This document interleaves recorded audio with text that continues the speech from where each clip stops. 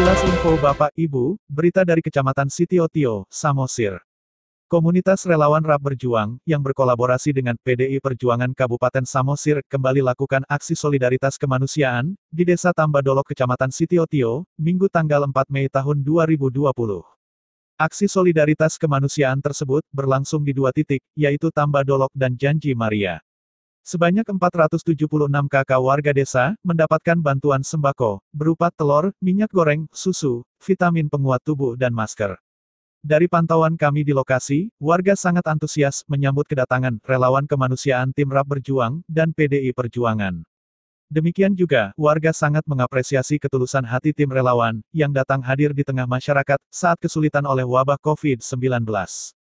Saud Tamba, Ketua DPRD Kabupaten Samosir, sekaligus Ketua PAC PDI Perjuangan Kecamatan Sitiotio, yang didampingi Rinaldi Naibaho Ketua Fraksi PDI Perjuangan, menyatakan bahwa kegiatan ini merupakan aksi bentuk pemberian tali asih, dalam membantu warga oleh pandemi COVID-19.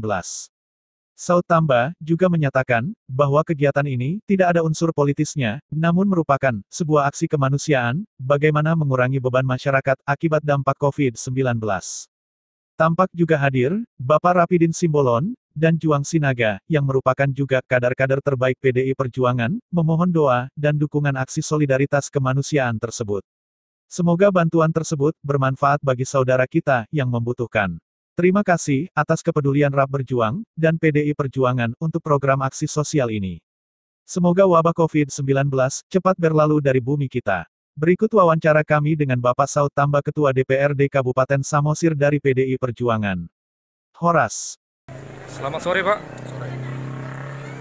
Ini Pak, kita ada melihat pemberian bantuan dari relawan Berjuang bersama dengan PDI Perjuangan. Apa Pak motivasi daripada relawan Berjuang dengan PDI Perjuangan memberikan bantuan ini Pak?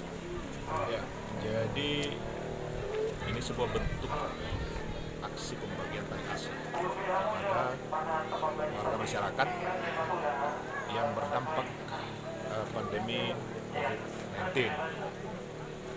Jadi tidak ada uh, apa, tidak ada politis, tapi sebagai aksi bagaimana kita mengurangi beban masyarakat akibat dampak dari COVID-19 ini. Kira-kira itu. Uh, untuk hari ini Pak, kita melihat ini ada di Desa Tambadul ya Pak ya? Ya, Berapa titik Pak pemberian bantuan ini Pak? ada dua titik kita tempatkan di satu titik satu desa, tetapi setiap desa ada tiga dusun. Oke Pak, terima kasih Pak informasinya Pak. Oke.